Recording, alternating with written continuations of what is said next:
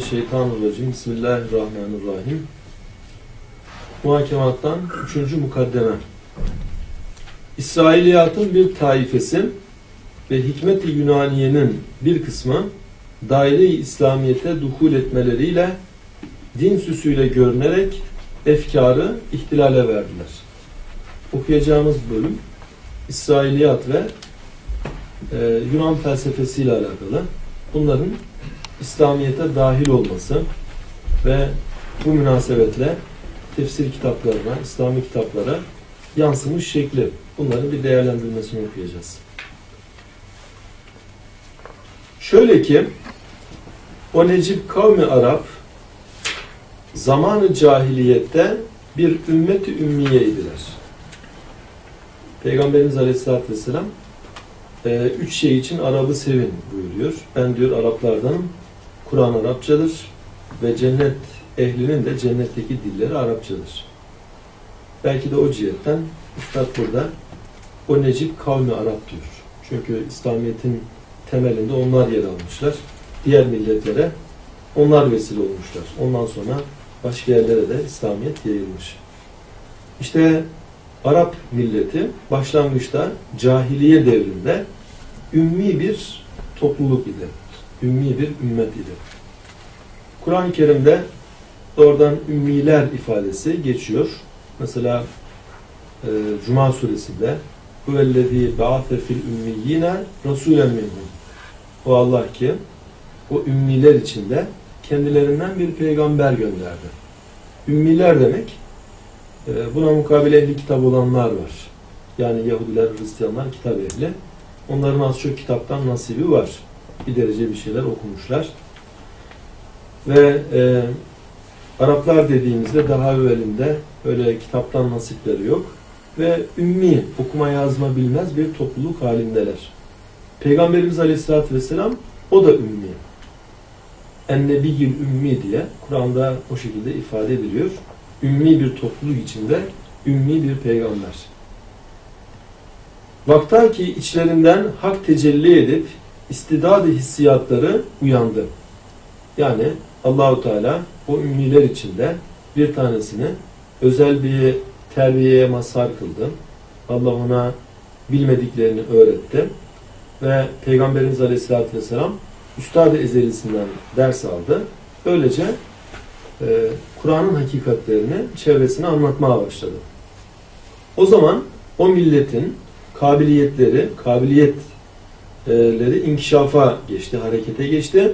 Meydanda yol açan dini mübini gördüklerinden umum rahabat ve meyilleri yalnız dinin marifetine inhisar eylediler. Yani evvelinde tamamen cahiliyenin hakim olduğu bir toplum iken kitaba muhatap oldular. Kitaptaki fevkaladeliği gördüler ve onunla kendilerine çeki düzen verdiler. Bütün rağbetleriyle dine yöneldiler. Burada belki şöyle bir incelik düşünülebilir. Mesela e, aynı devirde Roma İmparatorluğu var. Peygamberimiz Aleyhisselatü Vesselam faraza Roma'da bir peygamber olarak gönderilmiş olsaydı oradaki insanlar okuma yazma biliyor. Oradaki insanlar devlet nedir biliyor. Bir takım kurallar var, kuralları biliyor. Peygamberimizin anlattıkları ve toplumu yetiştirmesi o kadar fark edilmeyebilirdi. Yani gecenin karanlığı ne kadar fazlaysa az bir ışık bile yaksanız farkına varılıyor. İşte Arap Yarımadası'ndaki o insanlar cahiliyenin karanlıkları içinde. Hafiften de olsa bir aydınlıkları yok. Böyle olunca Peygamberimizin onları terbiye etmesi çok daha net olarak. Fakat kainatı olan nazarları teşrihat-ı hikemiye nazarıyla değil, belki istidraden yalnız istidlal içinde. Yani kainata bakarken, şu aleme bakarken Araplar Kur'an'dan aldıkları dersle doğrudan günümüzdeki fenler tarzında bakmıyorlar. Yalnız e, Allah'ın varlığına, birliğine delil olması ciheti. O yönüyle bakıyorlardı. Onların o hassas zevki tabiilerine ilham eden, yalnız onların fıtratlarına münasip olan geniş ve ulvi muhitleri ve safi ve müstahit olan fıtrat-ı asliyeleri talim ve terbiye eden yalnız Kur'an idi. Yani çevre geniş, etraf uçsuz bucaksız çöl, zihinleri meşgul edecek fazla bir şey yok ve günümüzdeki tarzda kalabalık bir hayat da değil. Mesela Mekke'nin nüfusu 10 bin civarındaymış. Peygamberimiz Aleyhisselatü Vesselam e, orada e, yani çok daha geniş, çok kalabalık olmayan o günün şartlarına göre orta büyüklükte belki bir e, şehirde Allah'ın dinini tebliğe başlıyor. Toplum hayatı nispeten sakin, zihinler safi. Böyle olunca peygamberin verdiğini almaya müsait. E, daha evvelinde de e, onlara bilgi olarak gelmiş başka bir şeyler yok. Bu açıdan tamamen aç bir vaziyette, tamamen almaya müsait bir durumda. Dolayısıyla onları yetiştiren sadece ve sadece Kur'an oluyor. Kur'an-ı Kerim'den derslerini alıyorlar. Bundan sonra kavmi Arap sair akvamı bel ettiği gibi, diğer kavimleri yuttuğu gibi Mileli sairinin malumatları dahi Müslüman olmaya başladığından muharrefi olan İsrailiyat ise Vehb, Kâb gibi ulemayı ehli kitabın İslamiyetlerinin cihetiyle Arapların hazain hayalatına bir mecra ve menfez bularak o efkar-ı safiyeye karıştılar. Burada İsrailiyatı anlatıyor. İsrailiyat, İsrailoğullarından bize gelen şeyler anlamında. Ama bu sadece e, Yahudilerle alakalı değil, Hristiyanlardan da gelen bilgiler var. İşte önceki din mensuplarından, kitap ehli olan kimselerden bize e, gelmiş olan bilgilere, kitaplarımıza geçmiş olan bilgilere İsrailiyat deniliyor. Peki bu nasıl oluyor? İşte Vehb bin Münebbih gibi, Kabul Akbar gibi zatlar, e, işte biri Yahudi, diğeri Hristiyan. Bu gibi zatlar İslamiyet'e girmişler. Art niyetle de değil. Gerçekten samimane Müslüman olmuşlar. Ama önceden getirdikleri bilgiler var. Önceden getirdikleri bilgileri de paylaşıyorlar. Tevrat'ta bu şöyle anlatılıyor. İncil'de böyle anlatılıyor. İşte bize ruhbanlarımız böyle anlattı gibi e, eskinin mazinin kültürünü getiriyorlar. Ve böylece Arapların diyor safi olan hayal hazinelerine bir mecra ve menfez buluyor. Oradan bu bilgiler girmeye başlıyor. Hem sonra da ihtiram dahi gördüler, hürmet dahi gördüler. Zira ulemayı ehli kitaptan İslamiyet'e gelenler İslamiyet şerefiyle gayet celalet ve tekemmül ettiklerinden malumat-ı muzahrefe sabıkaları makbule ve müselleme gibi oldular, reddedilmedi. Yani bu zatlar Müslüman olduğunda o zamanki Müslümanların çoğuna göre bilgileri daha fazla. Eski kitaplarla alakalı bilgileri var. Bunları anlattıkları zaman kabul görüyor. Etraftaki insanlar hürmetle dinliyorlar. Günümüzden misal vermek gerekirse mesela Garodin e, Fransız solun fikir babalarındanmış Fransa'da. Daha sonra Müslüman oldu. Ve Müslüman olduktan sonra bu İslami konularda da kendi kanaatlerini anlattı. Ama bir anda hani bir boya küfü değil ki birden oraya girsin çıksın rengi tamamen değişsin. Eski fikirleri de kendisinde var. Böyle olunca anlattığı bütün meselelerde tam da istikametli olmayabilir. Ama işte Garodi böyle söylüyor. Hani meşhur birisi. Artık herkes evet bu böyledir tarzında bir kanaat sanki meydana geliyor. Etkili oluyor. Günümüzde de bunun bazı örnekleri bu şekilde var. Zira ulemayı ehli kitaptan, ehli kitabın alimlerinden İslamiyet'e gelenler İslamiyet şerefiyle gayet celalet ve tekemmül ettiklerinden malumat-ı müzahrefe sabıkaları önceki müzahref bilgileri. Müzahref demek içlerinde böyle doğru bilgiler de var ama yalan yanlış bilgiler de var. Muzahref karışık olanlara deniyor. Bu şekilde karışık olan bilgileri makbul ve müsellem gibi oldu. Makbul bilgiler, doğruluğu kabul edilmiş bilgiler gibi e, kabul edildi, reddedilmedi.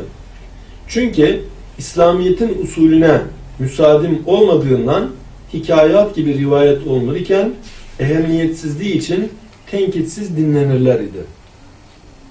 Fakat Hayfa ya ma ne yazık ki sonra hak olarak kabul edildiler. Çok şüphe ve şükükata, çok şüphelere ve tereddütlere sebebiyet verdiler. Yani bunların bilgileri içinde doğru olanlar var ama Doğru olmayanlar da var. E, muhatapları, bu bilgilere muhatap olanlar bunları o kadar ayırt edecek durumda da değil. Hepsi doğru gibi kabul edildi. Kitaplara da bunlar geçti. Şöyle örnek vereyim.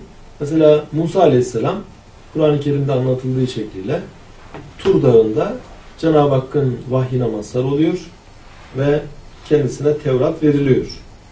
Ancak günümüzde böyle İslami bir takım kitaplara baktığımızda e, hikayelerin anlatıldığı kitaplara Hz. Musa bir gün Tur'a giderken yani sanki her gün Tur'a gidiyor geliyor. Sanki her gün kendisine orada özel vahiy geliyor gibi. Böyle bir anlatımla anlatılıyor. Peki bu anlatılanların bir kısmı acaba yanlış şeyler mi? Yanlış olmayabilir. E, doğru şeylerdir. Ama arada yanlışlar da olabiliyor. Herkes bunu tam e, muhazene edemediğinden doğru yanlış birbirine karışıyor. Ben bir tanesini anlatayım. Bir gün Hz. Musa Tur'a giderken bir kişiye rastlıyor. Rastladığı kişi diyor ki Ya Musa Rabbine benim için dua et. Benim duamı kabul etsin. Sen bana şefaatçi ol. Sen bir peygambersin diyor.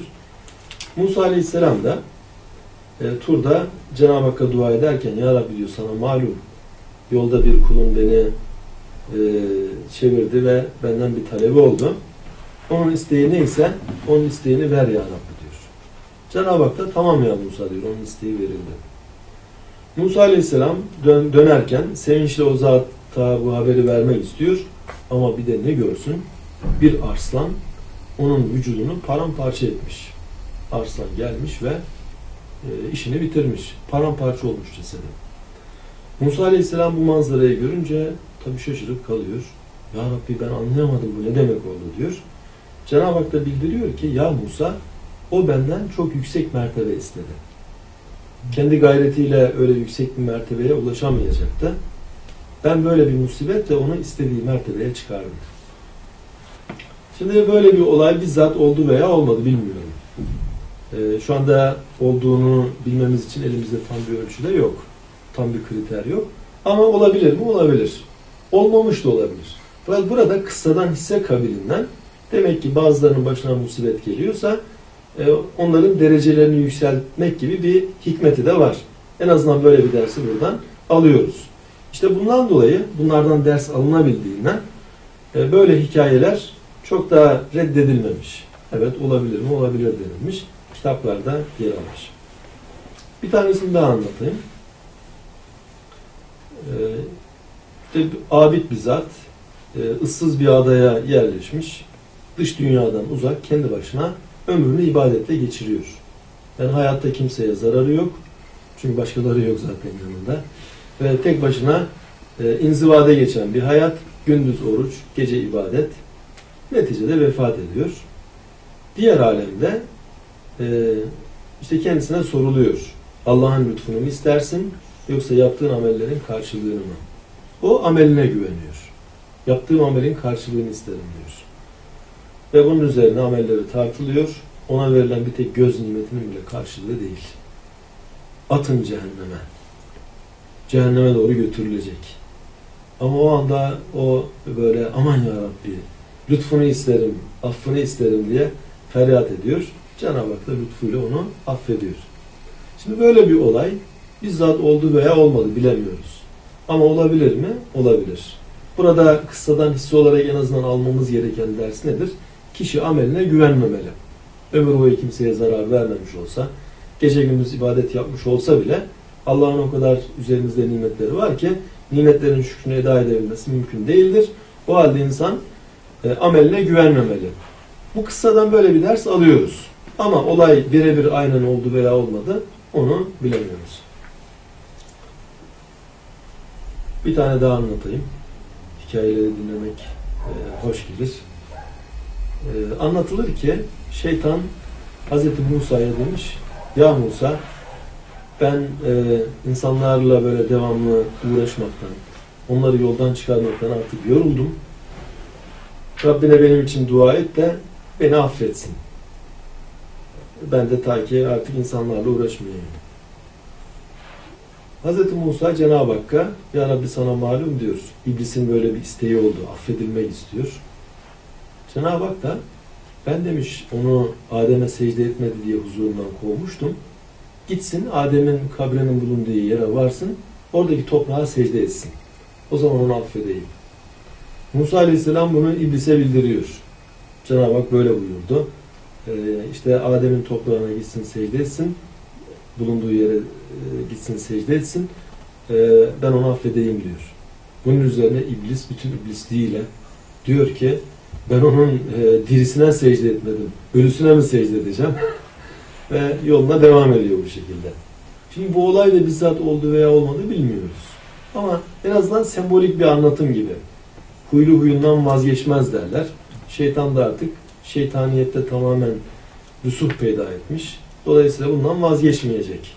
Belki bu mana böyle bir olayla veya sembolik bir anlatımla anlatılmış oluyor. Bu gibi meselelerde doğrudan ayette bu var mı diye sorulmaz. Hadiste bu var mı diye de sorulmaz. Ee, dinin ölçüleri çerçevesinde bunlar değerlendirilir. Dinin ölçülerine tersse zaten kabul edilmez. Ama din bunları reddetmiyorsa öz itibariyle olabilir diye en azından bunlardan bir ibret almaya çalışılır. Hem de vaktaki şu İsrailiyat, kitap ve sünnetin bazı imaatlarına merci ve bazı mefahimlerine bir münasebetle mehaz olabilirler idi. Fakat ayat ve hadisin manaları değil. Yani İsrailiyattan gelen bilgiler bazı ayetlerin ve hadislerin manalarını anlamamıza vesile olabilirler. Ve bir açılım yapabilirlerdi. Ama ayetin hadisin manası bu anlamına da gelmezdi.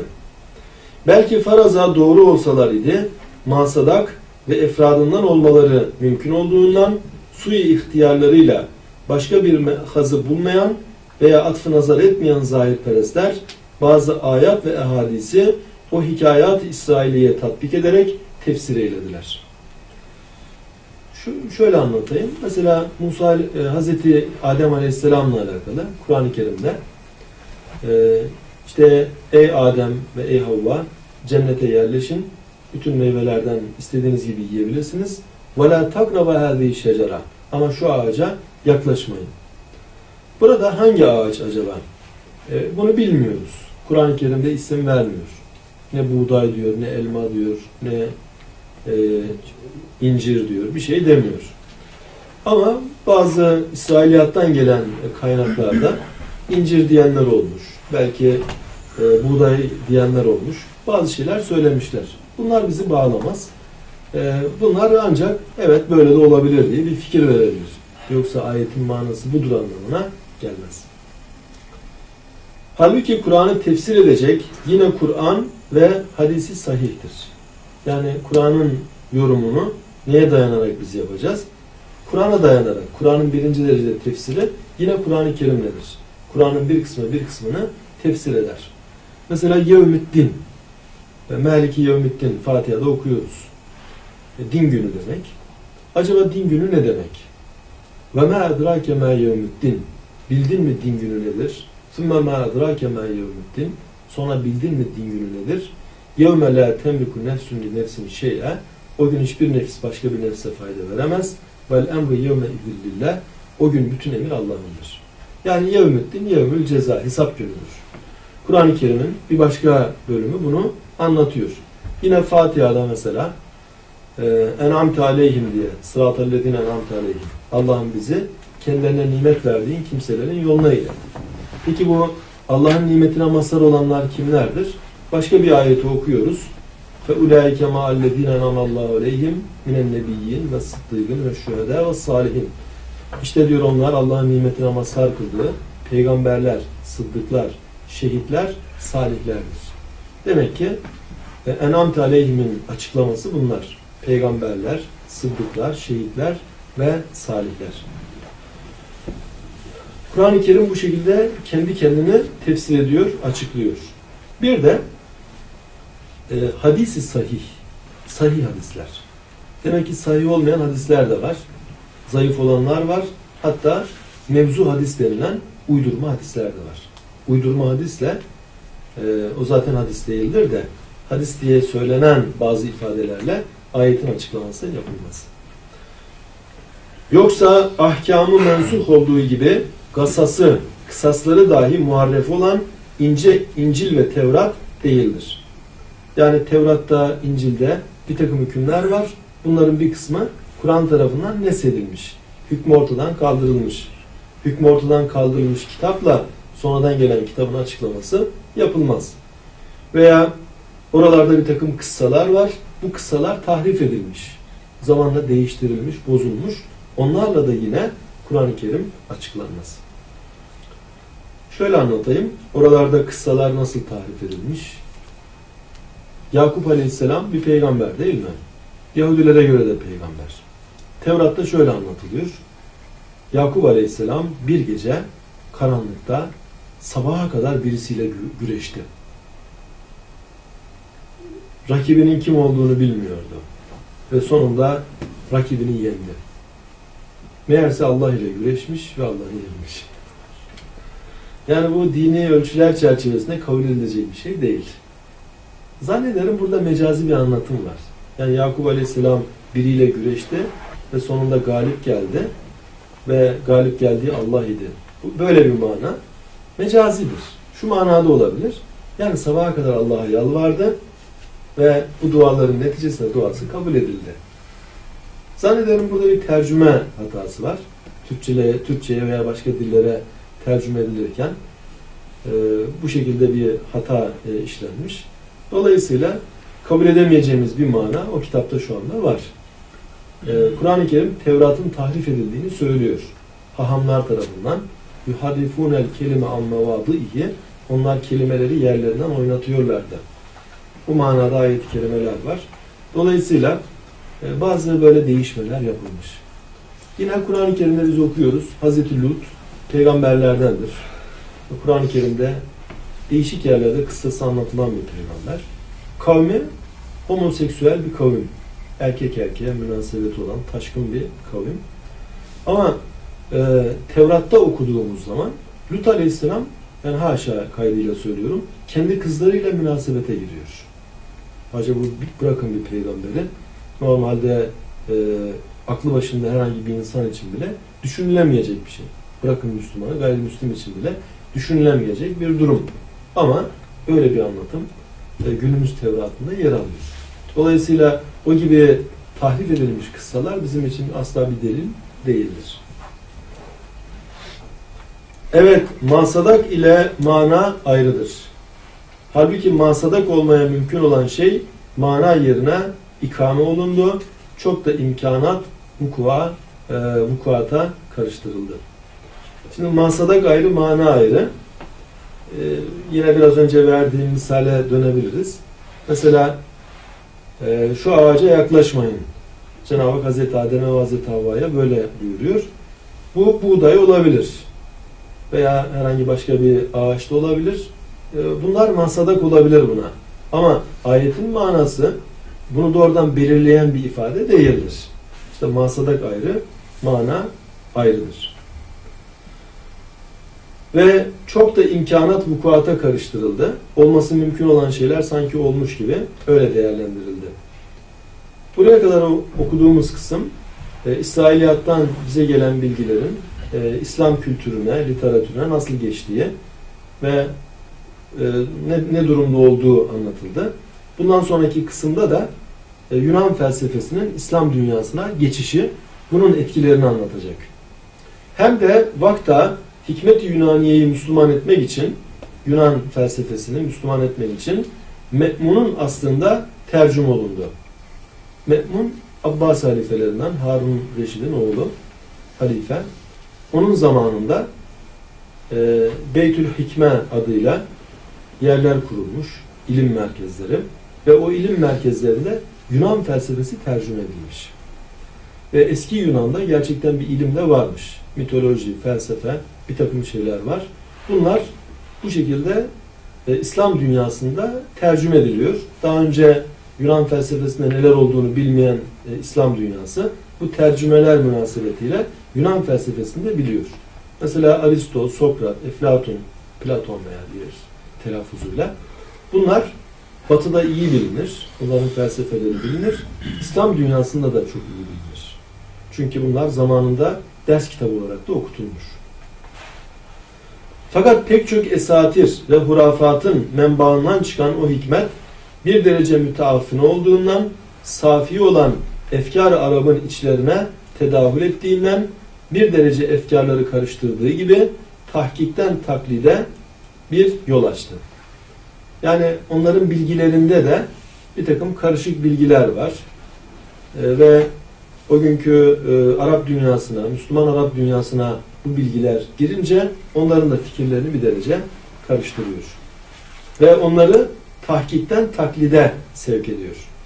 Hem de abay hayat olan İslamiyet'ten karihayı fıtriyeleriyle istinbat etmeye kabil iken o hikmetin telemmüzüne tenezzül ettiler. Yani o günkü Müslümanlar fıtri kabiliyetleriyle, düşünme melekeleriyle doğrudan İslamiyet'ten bir takım neticelere ulaşabilecekken tuttular Yunan felsefesinden ders almaya başladılar ve o felsefeye talebelik yaptılar. Evet nasıl ki ihtilat-ı acam ile yani Arap olmayanlarla Arapların karışmasıyla kelam-ı mudarinin melekesi fesada yüz tutmakla asıl Arapça e, o zaman bozuldu. Muhakkikini ulema o melekeyi muhafaza etmek için ulum-u arabiyenin kavaidini tedvin ettiler. Yani Arapların fıtri bir Arapçası vardı ve güzeldi. Ama daha sonra başka milletler de İslam'a dahil olunca onlar da Arapça ile tabi meşgul oluyor. Zamanla Arapça dil özelliklerinde biraz böyle problemler yaşıyor. Başkalarının karışmasıyla. Bunun üzerine e, muhakkik alimler Arapçanın kurallarını ortaya koyuyorlar ve kitaplar telif ediyorlar. Öyle de şu hikmet ve İsrailiyat dahi daire-i İslamiyet'e duhulleriyle beraber bazı nakkad-ı muhakkikin İslam temiz ve tasfiyelerine teşebbüs ettiler. Fakat Hayfa tamamıyla muvaffak olamadılar. Yani Yunan felsefesinin tercüme edilmesiyle e, Müslümanların bunlara muhatap olan Müslümanların zihinleri bir derece karıştı. İslam alimleri de onlardan ayıklamak için eserler yazdılar. Ama diyor maalesef e, tamamıyla muvaffak olamadılar. İmam Gazali'yi bilirsiniz. İmam Gazali e, Hüccetül İslam, İslam'ın delili olan çok büyük bir alim. Eserleriyle günümüzde de etkili olan bir insan. O zaman felsefe insanlar arasında çok revaç bulunca bakıyor ki İmam Gazali insanlar felsefenin etkisi altında kalıyorlar ve Yunan felsefesinden epey etkilenmişler. Bunun üzerine önce e, felsefenin ne olduğunu anlatan e, kitap yazıyor ve orada felsefeyi, o günkü felsefeyi ana hatlarıyla değerlendiriliyor, değerlendiriyor. Ardından e, bunun tenkidini yapıyor. Ve e, onların nerelerde yanıldığını, nerelerde küfre düştüğünü, nerelerde yoldan çıktığını e, İmam Gazali net bir şekilde ortaya koyuyor. Ve bunun neticesinde, bu eserin neticesinde İslam dünyası bayağı bu etkilerden kurtuluyor ama tümüyle de demek kurtulamıyor. Mesela kelam kitapları. Kelam kitaplarında felsefeden pek çok bilgiler gelmiş. Ee, o günkü Batı felsefesi diyebileceğimiz Yunan felsefesinden pek çok bilgiler gelmiş ve ona göre açıklama yapmışlar. O felsefenin düsturlarına göre orada e, açıklama yapmaya çalışmışlar. Halbuki e, o bilgilerde doğru olanlar da var, eğri olanlar da var. Bunların birbirinden e, ayrılması gerekiyor. İş bu kadarla da kalmadı. Çünkü tefsir Kur'an'a sarf himmet edildiği vakit bazı ehli zahir Kur'an'ın nakliyatını bazı İsrailiyata tatbik ve bir kısım akliyatını dahi hikmet-i mezbureye tevfik ettiler. Yani şöyle oldu. E, işte Kur'an'da anlatılanla Tevrat'ta anlatılan bir diyebilmek için bazı teviller yaptılar.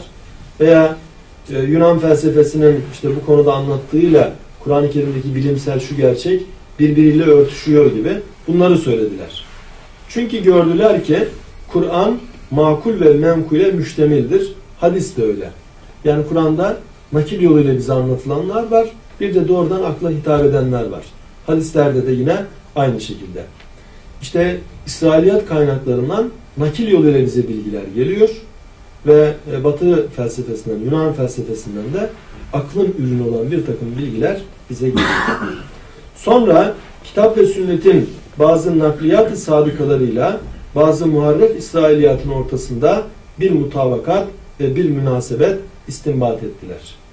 Yani bunların aslında aynı yere çıktığını, birbirine mutabık olduğunu, uygun olduğunu göstermeye çalıştılar.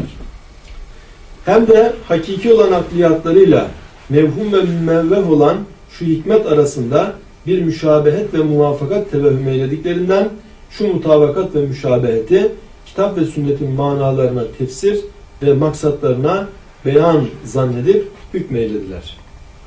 Yani bu günümüzde de benzeri bazen oluyor.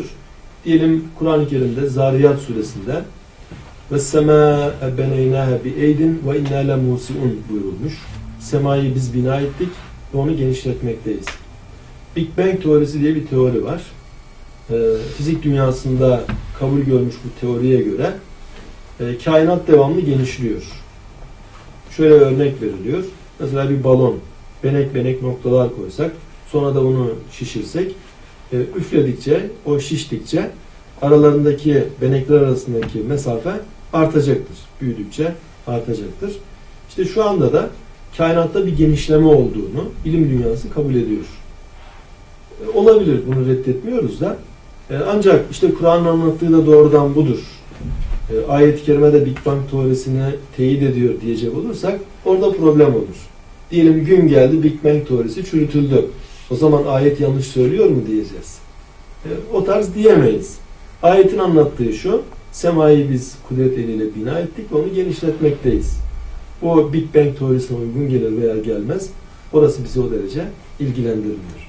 Yani bu konuda esas olan Kur'an'ın bize bildirmiş olduğu esastır. Yoksa e, illa bunu falanca teoriye uyduracağız diye bir şeyle mükellef değiliz. Kella sümme kella. Haşa ve kella. Zira kitab-ı mucizül beyanın mistakı icazıdır. Kur'an'ın doğruluğunu gösteren işte felsefeye uygunluğu, bilimlere uygunluğu değil, onun mucize oluşudur. Yani Allah'ın kelamı oluşu, oluşudur. Müfessiri eczasıdır. Yani Kur'an-ı Kerim'in bir kısmını bir kısmını tefsir eder. Manası içindedir. Yani dıştan illa takviye ihtiyacı yoktur. Sadefi de dürdür, meder değildir. Sadef, inciyi bilirsiniz. İnci oluyor. Bir de onun dışında şöyle bir mahfazası oluyor. O açıldığı zaman içinden inci çıkıyor. İşte Kur'an-ı Kerim'in diyor sadefi yani lafızları onlar da inci gibidir. E, fazlalık bir madde değildir. Ve e, onun içinde bulunan e, yani onun içinde bulunan lafızların içinde bulunan bir incidir. Meder değildir. Çakıl taşları değildir.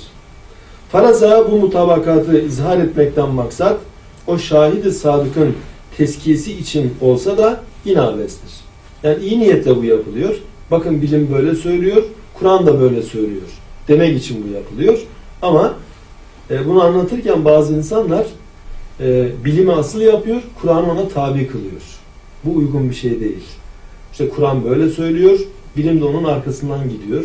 Bilim de bunu takviye ediyor diyebiliriz. Ama önce bilim böyle söylüyor, Kur'an da bunu söylüyor dersek bilimi asıl yaparız ve Kur'an ona tabi yapmış oluruz. Zira Kur'an-ı Mübin ona mekale de inkiyadı teslim eden öyle akıl ve naklin tezkiyelerinden pek yüksek ve ganidir. Çünkü o onları tezkiye etmezse şehadetleri mesmu olamaz. Yani asıl olan Kur'an'ın onları doğrulaması. Yoksa onların Kur'an'ı doğrulaması değil. Evet Süreyya'yı serada değil semada aramak gerekir. Yani Süreyya bir takım yıldızı. Ee, Süreyya ise o semada aranır. Yerde Süreyya takım yıldızı aranmaz. Kur'an'ın manasını da yerde aramak değil, semavi kaynaktan doğrudan kendisinden veya peygamberimizin açıklamalarından aramak gerekir. E, bilimden payandalar e, koymaya lüzum yok. Kur'an'ın meanisini de estafında ara. Kur'an'ın manalarını sadeflerinde ara. Kur'an'ın sadeflerinde. Yoksa karma karışık olan senin cebinden arama zira bulamıyorsun. Bulsan da sikke-i belagat olmadığından Kur'an kabul etmez. Zira mukarrerdir. Asıl mana odur ki elfaz onu sımahta boşalttığı gibi yani kulağa boşalttığı gibi zihne nüfuz ederek vicdan dahi teşerrüf etmekle ezahiri efkarı, fikir çiçeklerini feyiziyap eden şeydir. Yani asıl mana nedir? Ee, bir manayı ifade ederken bazı lafızlar kullanıyoruz. Ee, kulağa bunlar ulaşıyor. Oradan zihne nüfuz etmeli. Zihinde e, bunları almalı. Vicdan dahi teşerrüf etmeli. Vicdan da böyle içmeli, tasdik etmeli. Ardından da fikir çiçeklerini e, feyizyap etmeli. Onları beslemeli ve onları fikir çiçeklerini meydana getirmeli. Yoksa başka şeyin kesreti tevavvülünden senin hayaline tedavül eden bazı ihtimalat veyahut hikmetin ebatılından ve hikayatın esatirinden sirkat edip, hırsızlayıp, cepte doldurarak, sonra ayat ve hadisin telafinde gizletmek, çıkartmak, elde tutmak, çağırmak ki budur mana geliniz alınız dediğim vakit alacağın cevap şudur. Yani bir insan e, şöyle anlatmaya çalışayım. Kur'an'da var olanlar gösterilmeli ama kendi zihnimizde teşekkür etmiş olan manalar Kur'an'danmış gibi anlatılmamalı. Şimdi ben bazılarını biliyorum. Ee, Kur'an böyle söylüyor diyor. Halbuki Kur'an'da öyle bir ayeti yok. Kendi anladığını ayet gibi anlatıyor. Kendi zihninde teşekkür eden manayı o tarzda anlatıyor. Bu son derece tehlikeli olan bir durum. Yani bir şeyle zihnen meşgul, zihninde bir mana meydana geliyor. Bunu Kur'an'a dayandırmak istiyor. Ona uygun bir ayet görürse, bak Kur'an'da böyle söylüyor. E, o zaman kendi fikrini asıl yapmış olur. Kur'an-ı Kerim'i buna alet etmiş olur. Yani mesela tartışmalı bir konu laiklik. Bakıyorsunuz bazıları La ikrahe din ayetini laikliğin esası olarak görüyor. Yani kendi zihninde teşekkür etmiş bir mana var. İşte onun zihnine göre laiklik şudur. Kur'an'dan da delil olarak bu ayet laikliği zaten benimsemektedir gibi böyle değerlendirme yapıyor. Halbuki e, bunu din ve vicdan hürriyeti şeklinde anlamak, hiç laiklikle bağlantısını e, nazara vermeden doğrudan ayetin manasını söylemek en güzeli. Çünkü diğerinde tartışmalar olabilir. Yahu e, alacağın cevap şudur o zaman. Yahu işte senin manan siliktir. Sikkesi taklittir. E, sikke paralarda sikke oluyor ya. Hani parayı da taklit ederler malum. O zaman e, o işi yapanlara kalpazan deniyor. Gerçek para gibi piyasaya sürüyorlar. Ama anlayan anlıyor ve o paraları deliyorlar. O paraları tedavülden kaldırıyorlar. Demek ki bir gerçek para var, bir de sahte para var. Onun gibi bir gerçek mana var, bir de sahte manalar var. Bunları birbirinden ayırt etmek gerekir. Nakkadı hakikat reddeder. Hakikatin nakkadı temkitçisi olan şey onu reddeder. Şöyle anlatayım. Diyelim bana e, içinde bir derece bakır olan bir altın getirilse ben anlamam. Çünkü sarraf değilim. Ama sarrafa götürüldüğü zaman sarraf şöyle bir şöyle bir yapıyor. Hemen oradan e, anlıyor nasıl anlıyorsa. E, parayla devamlı iç içe olanlar da şöyle sahte olan bir paraya baktıklarında bu para sahtedir. Ya renginden anlıyor ya başka bir alametten anlıyor. E, işte buralarda sahte para nasıl tedavüle sürülüyorsa bazıları da sahte manaları Kur'anlanmış gibi göstermeye çalışıyorlar. Sikkesi taklittir, nakkad hakikat reddeder, sultan-ı icaz dahi onu darbedeni tard eder. Onu yani darphanede basanı kovar. Sen ayet ve hadisin nizamlarına taarruz ettiğinden ayet şikayet edip hakimi belagat senin hülyanı senin hayalinde hapsedecektir. Yani sahte para basan yakalandığı zaman mahkemeye veriliyor. Adamı hapse atıyorlar. İşte sahte manalar söyleyenler de belagat noktasından değerlendirildiği zaman onların cümlelerinin sahte para gibi olduğu görülecektir.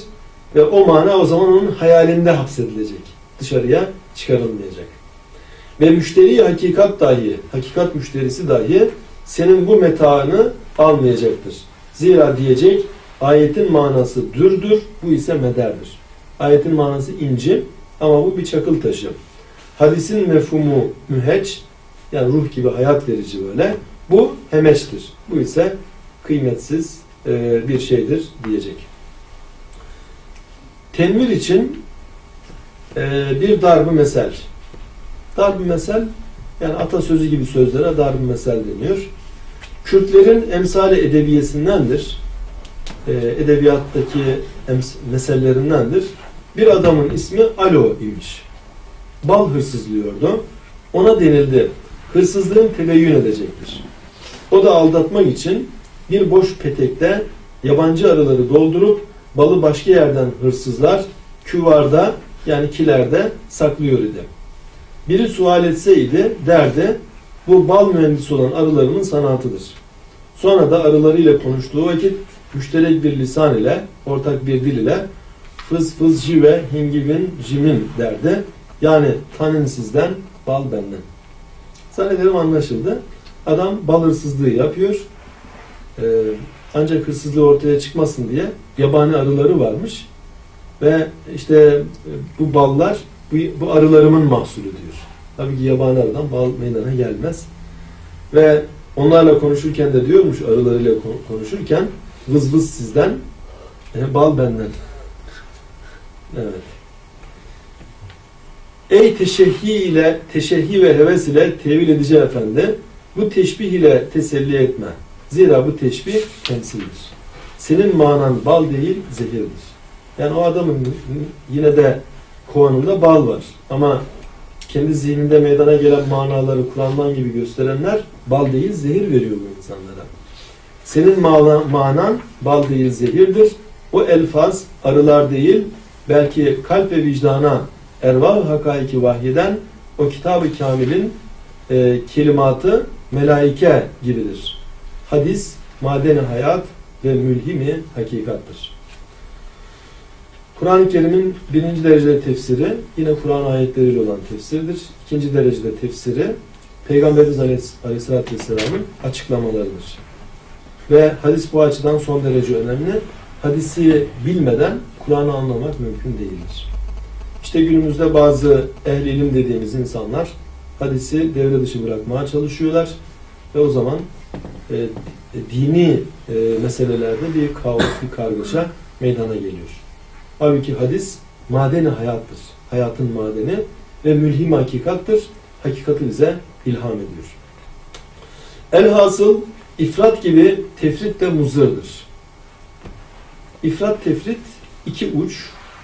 Ee, yani diyelim İsrailiyattan gelen hiçbir rivayeti kabul etmemek e, bu e, ifrat olur. E, her şeyi kabul etmek tefrit. Hani biri ifrat, diğeri tefrit olur. E, ortasını bulmak lazım. Peygamberimiz Aleyhisselatü Vesselam ortasını bulmuş. Veya e, bu aynen ilimler için de yine aynı ölçü kullanılabilir. Peygamberimiz şöyle buyuruyor. Ehli kitabı tasdik de etmeyin, tekzip de etmeyin. Deyin ki biz Allah'ın indirdiğine iman ettik. Allah ne indirmişse onlara iman ettik deyin. Dolayısıyla şu anda Tevrat'ta, İncil'de yer alanlar tümü yanlış demek değil. Allah ne indirmişse amenna ve saddakna. Tümünü kabul edersek yanlışları da kabul etmek gibi bir durumla karşı karşıya kalırız. Öte yandan e, tümünü reddedersek doğru olanları da reddedebiliriz. Bu açıdan ihtiyatlı olmak gerekiyor. Veya diyelim Big Bang teorisini örnek vermiştim. Big Bang teorisi illa yanlış demek değildir. Ama ihtiyatla karşılıyoruz. Zamanla yanlış da çıkabilir. Bu açıdan ihtiyatla karşılıyoruz. İnsanlar yanılabilir. Teorik konularda yanılabilir. E, Batlamyus teorisi diye bir teori var. Batlamyus teorisi e, dünyayı kainatın merkezine koyuyor. Güneşi dünyanın etrafında döndürüyor. Dünyayı düz olarak kabul ediyor. Bu binlerce yıl insanların kabul ettiği bir fikir. Ama daha sonra bunun yanlış olduğu anlaşıldı. Yani topyekun insanlık bile yanılabilir. Bu açıdan son sözü bilime söyletmek değil, Kur'an-ı Kerim'in hakikatlerine göre değerlendirmek gerekiyor. Son söz e, Allah'ındır ve La ya'lemul gaybe illallah, gayb ancak Allah bilir. Kul innemel ilmu indallah, de ki gerçek ilim Allah katındadır. Bu ölçülere göre değerlendirildiğinde e, bilimden bize gelen bir takım gerçekleri, İsrailiyattan bize gelen bir takım rivayetleri daha iyi değerlendirebiliriz.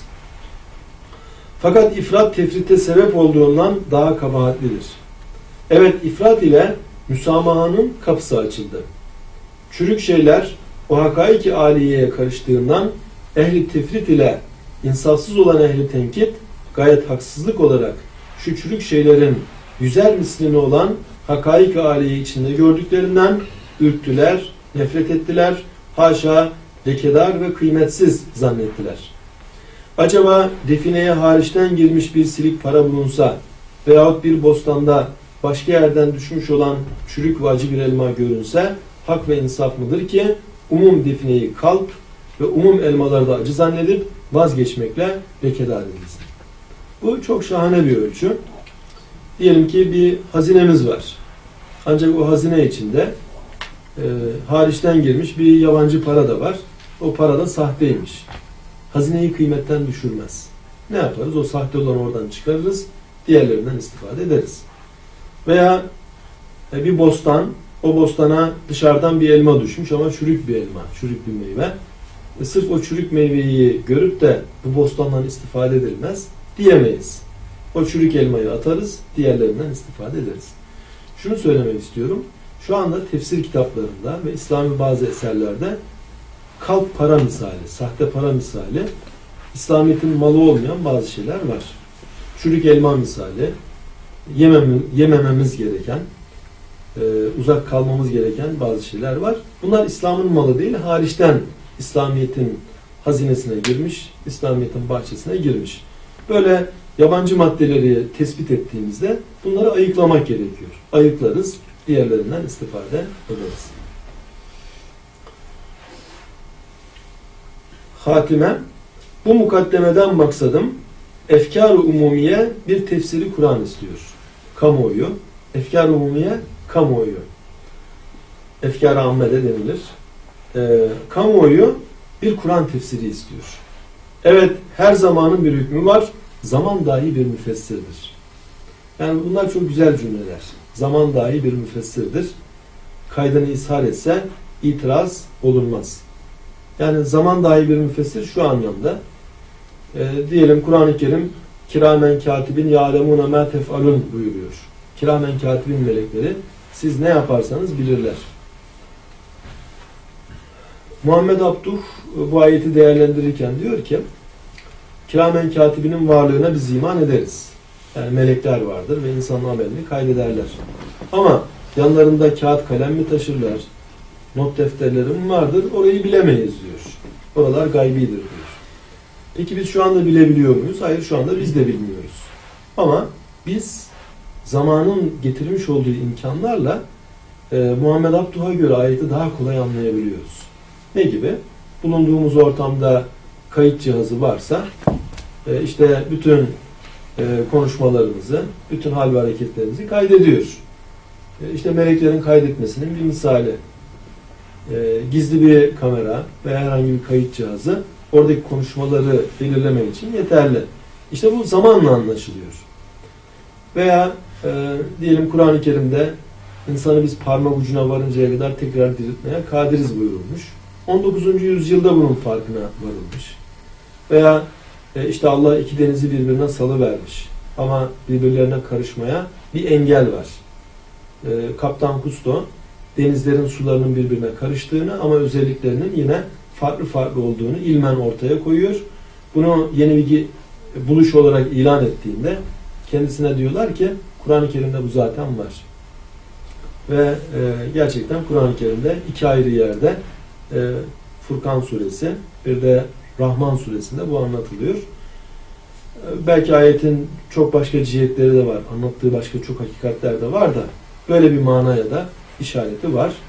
Dolayısıyla zaman Kur'an'ın daha iyi anlaşılmasına vesile oluyor. Şöyle bir şey var.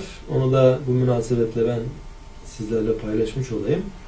Acaba biz Kur'an-ı Kerim'i böyle bizden öncekilerin anladığı gibi anlamaya mecbur muyuz? Bazı zatlar böyle demiş. Ve demişler ki Selefi Salihin e, nasıl Kur'an-ı Kerim'i anlamışlarsa biz de öyle anlamaya mahkumuz, mecburuz, başka türlü anlayamayız. E, burada bir, bence bir ihtiyat kaydı bırakmak lazım.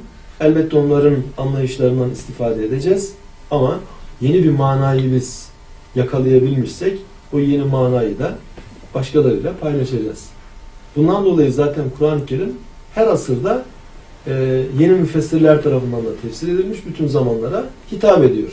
Yoksa sadece asıl saadette neler denildi o bilgilerle kalırdık. Sonraki dönemlerde de yeni yeni manalar, mana derinlikleri insanlara gösterilmiş. Bu noktada İmam-ı Azam şunu söylüyor. Diyor ki e, sahabenin sözünü elbette nazar itibarı alırız. Kur'an nasıl anlamışlar bakarız. Ama bu doğrudan kendi iştihatlarıysa bizi bağlamaz diyor. Hümür rical, nahnur rical diyor. Onlar adam, biz de adamız. Yani biz de bu konuda kendi kanaatimizi ortaya koyarız diyor. Bediüzzaman bunu eski eserlerinden birinde söylerken, naklederken narayı merdane diye söylüyor. Erkekçesine nara. Yani yeri geldiğinde bu da olabilmeli. Evet biz bunu böyle anlıyoruz. Ee, işte zaman bunu böyle anlamamıza yardımcı olmuştur. Zamanla bu daha iyi anlaşılmıştır diyebiliriz. Ee, bunun Kur'an-ı Kerim'de belki pek çok örnekleri bulunmakta. Ahval ve vukuat ise bir keşyaftır. Meydana gelen haller, olaylar. Bunlar da bir keşyaftır. Ee, yani zamanın ihtiyarlaması Kur'an'ı gençleştiriyor. Zaman ihtiyarlamasıyla Kur'an gençleşiyor. Remizleri daha böyle açık açığa çıkıyor. Daha net anlaşılıyor. Efkar-ı ammeye hocalık edecek yine efkar-ı amme-i ilmiyedir. Yani kamuoyuna hocalık edecek yine e, e, kamuoyunun ehli ilim olanlarının değerlendirmeleri. Bu sırra binaen ve istinaden isterim ki müfessir azim olan zamanın taht riyasetinde en büyük müfessir olan zamanın e, reisliği altında, idaresi altında her biri bir fende mütehassıs, muhakkikin ulemadan müntehap, muhakkik alimlerden seçilme, bir meclisi mebusan ilmiye teşkiliyle yani ilmi bir heyet meydana getirilsin. Meşveret ile bir tefsiri telif etmekle sair tefasirdeki münkasım olan mehasin ve kemalatı mühezzebe ve müzehhebe olarak cem, et, cem etmelidirler. Yani burada Bediüzzaman e, yapılması gereken bir tefsiri nazara veriyor. O da nedir? Heyet halinde yapılacak olan bir tefsir. Bir kişinin tefsiri değil, heyet halinde yapılacak bir tefsir. Bunlar makbul alimler olmalı, seçme alimler olmalı. Bir araya gelmeliler. Her biri değişik ilimlerde de uzman olmalı ve o şekilde kendi sahalarıyla alakalı ayetleri daha iyi açıklayabilirler. Bunu ifade ederken şöyle misal verebilirim. Mesela Kur'an-ı Kerim'de e, biz diyor ana rahminde sizleri üç karanlık içinde yarattık. يَخْلُقُكُمْ ف۪ي بُتُنُ اُمَّهَاتُكُمْ Allah analarınızın karnında sizi yaratıyor. فِي زُلُمَاتٍ ثَلَاثٍ Yani üç karanlık içinde. Şimdi bu üç karanlığı bir ilahiyatçı bilmez. Derin hoca da olsa bu üç karanlık nedir? Ee, çok daha net bilgiye sahip değildir. Ama e, embriyoloji uzmanı olan bir e, doktor bu sahada gerçekten e, uzman bir kişidir. E, ana rahmindeki o üç ayrı koruma sahası artık e, ne gibi zarlar, ne gibi şeyler sıvılarsa bunları ismen günümüzdeki isimleriyle de ortaya koyar. O zaman ayet-i kerimeyi daha iyi anlamış oluruz. Ve Kur'an-ı Kerim'in bununla alakalı mucizesi çok daha iyi anlaşılır. Öte yandan mesela Kur'an-ı Kerim astronomiyle alakalı, yıldızlarla alakalı çok ayetleri var. Ve bir ayette buyuruyor ki Cenab-ı Hak فَلَا اُقْسِمُ بِمَوَاقِئِ النُّجُمِ Yıldızların mevkilerine yemin ederim ve innehu legasamun lev talemun azim. Eğer bilirseniz bu çok büyük bir yemindir diyor. Şimdi yıldızların mevkileri ne demek? Yıldızların yerleştirildik, yerleştirilmeleri, yörüngeleri, buralara bakan belki cihetleri var. Bir astronomi alimi bu ayeti e, normal bir ilahiyatçıya göre, normal bir hocaya göre çok daha iyi değerlendirebilir. Bu konu onun ilminden istifade etmek gerekir. Evet meşrutiyettir. Her şeyde meşveret hüküm fermadır. Yani bu eser yazıldığı sıra ikinci meşrutiyet ilan edilmiş. Meşrutiyette hani insanlara fikirleri de soruluyor ya bu konuda siz ne dersiniz? Herkesin fikri alınıyor. Kur'an'ın yorumunda da en azından o sahada uzman olan kendi sahalarıyla ilgili ayetleri açıklamada yetkili olabilecek kimselere sormak lazım. Onlardan istifade etmek gerekir. Efkar-ı umumiye dahi didebandır. Yani böyle bir şeyi beklemektedir, gözlemektedir. Yani böyle bir tefsir olsa gayet güzel olur. İcma-i ümmetin hücciyeti buna hüccettir. Yani ümmet herhangi bir konuda icma etmişse, ittifak etmişse o öyle kabul ediliyor. Bu meselede de ehli ilim olanlar evet ayet bunu anlatıyor diye ittifak ettiklerinde o ayeti anlamak daha kolay olacaktır. Peki böyle bir tefsir yapıldı mı? Böyle bir tefsir gerçekleşmedi. Bediüzzaman kendisi ben diyor böyle bir tefsirin yazılmasını çoktan beri bekliyordum. Heyet halinde yapılacak bir tefsirin. Ama olmadı diyor. Bir şey ummen elde edilmezse tümüyle terk etmek de uygun değil diyerek ben diyor Bismillah deyip yazmaya başladım. İşaretül İcaz'ı yazıyor. 60 cilt olarak düşünmüş. İşaretül İcaz gibi 60 cilt kitap düşünmüş. Ama Birinci Dünya Savaşı yıllarında cephede e, İşaretül İcaz'ı telif ediyor. Sonrasında da e, işte koca bir devletin, Osmanlı Devleti'nin yıkılışı, ardından e, yeni bir devlet kuruluşu ve şartlar değişiyor. Artık Arapça medreseler falan kapanıyor veya kapatılıyor. Bunun neticesinde Bediüzzaman eserlerini Türkçe olarak yazmaya başlıyor. Ve Arapça kurallara bağlı olarak da değil de Türkçe daha kolay nasıl anlaşılacaksa temsillerle Risale-i Nur külliyatını yazıyor. Ama yine de e, Risalelerden de istifadeyle diğer tefsirlerde var olan güzellikleri de cem eden bir çalışma şu anda yapılabilirse gayet güzel, makbul bir tefsir olur. İnşallah ileride onu da görürüz. Billahi Fatiha.